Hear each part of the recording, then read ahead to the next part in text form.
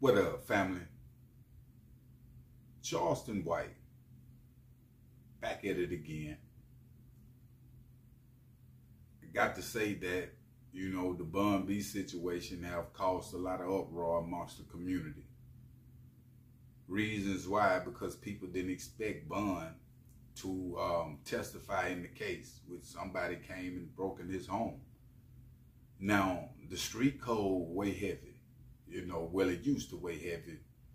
And when it come to a lot of different things, people are starting to look at things different, right? Meaning that this Bun B situation is a catch-22. It's a split situation to where a lot of street dudes feel like, you know, he's wrong. The majority of street dudes that's uh, still in the streets. And the ones that's OGs but have been there, they feel Bun because they recognize um, what life is, how precious life is, how real it can get. A person can take your life at the snap of a finger, fam. And when it comes to this situation, that could have went down. Bun B was upstairs with his with his wife. With the dude got the pistol on the wife. Like Bun B come down on some heroic type things that most niggas, excuse my language, wouldn't even do. Might have stayed upstairs. Now, when it come to Charleston, you know Charleston gonna speak his mind. And he went on a live and they was asking Charleston about this Bun B situation and what did he think. Bun, I mean Charleston White is saying that he now Bun first he played like Bun B is like nah, nah, he he he he told Bun that's called telling. Charleston White is saying it's a difference between snitching and telling, and pretty much what he's saying is Bun B told on himself also about him shooting the dude and everything that he didn't ignite it. He wasn't on no crime with the dude, and then said something. This got something to do with a person invading his home, and he told what happened in the process of him shooting an individual. And I understand that process, but like I say, the streets don't. Now, when it comes to Bun dropping the music that we've heard Bun drop, UGK, you know, they known for this certain type of aroma, this certain type of get down on them tracks, and it was all street, right? Would Pimp C agree with what Bun, what Lee you coming? Would Pimp C agree with, with Bun doing what he's doing? Um, and one may say, well, if Pimp didn't agree, was he his real brother from the jump then? Because this got something to do with this man's family, that he could have lost his life. Like anybody that's saying that Bun is wrong right now is lost in the sauce. And it's sad to see how many people, just like I used to be, just lost in the sauce when it comes to doing the right thing, protecting your family, being a family man, going to work, just living life, fam. Everybody wants you to uphold these images that they ain't really even upholding. And then it's a cursed image, fam. All the individuals that I was in the streets with and we was looking at the dudes that was working the jobs that had the family, them dudes is, is winning right now. You feel me? They cashing out for 401k, got businesses and everything. We wasted 20, 30 years just wasted in the streets with some Negroes that didn't even really rock with you females that didn't even uh, really rock, rock with you, chasing a ghost, an image for other people. The streets is just about image. It ain't about realness, and the image is not real if you don't know. You understand? So when it come to the dope boy, when it come to the killer, when it come to the player, when it come to the pimp, all that is just image, fam.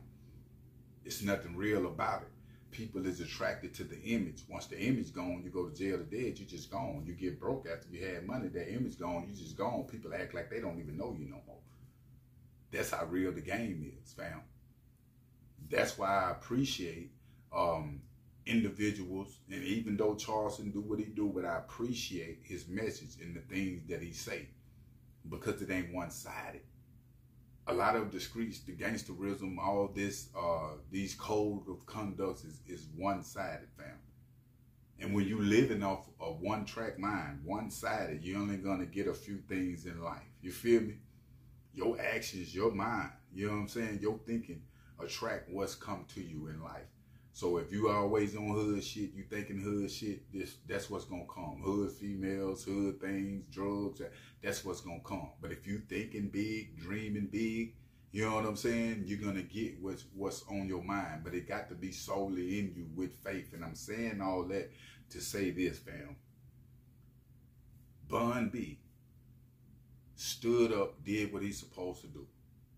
Charleston White saying is telling that's what it is. He he did tell and told on himself and said, hey, you know, I had to shoot the dude. He come, you feel me? That's telling on himself. This should go to show all of you individuals that put these artists up to a pedestal. I don't care if you grew up with them or you're a new individual, you own these new artists now. You're YG that's coming up in the game. Do not ever in your life, don't make the mistake that I made, thinking that these dudes was was idols. You feel me? Like they didn't make no mistakes. This is how I know it's it's, it's Satan, fam. This is how I know that hip hop is, is is witchcraft because of the thinking that our culture think of these artists, fam. Like they'll take up for these rappers or before they even do it with their families. I see it all the time. Like they're sure different rapper material on social media, and I'm like, damn, your cousin rapping off. Your cousin got this business, and I never seen you share nothing on that. That's how much it weigh heavy, fam. You know, that's how much that voodoo be on individuals, and they don't even recognize it. They think they just fans, fam. But it's really cult behavior. You got people that was arguing, ready to kill each other off the Drake and Kendrick Lamar beef. Like straight up. That's something, fam, with our culture. And the thing about it, everybody wanted to see this beat. People, when they see the fights in the hood, man, they pulling out cameras. You can been done almost losing your life and the camera is, is still going, man. That let you know how people, and you got them same people that be recording. We see on these fights and the dude that's getting his ass whooped or whatever the case might be with all these people. And here they record him still saying, hey man, you all right? You know, in the, like, come on, man. Like, is this what it is?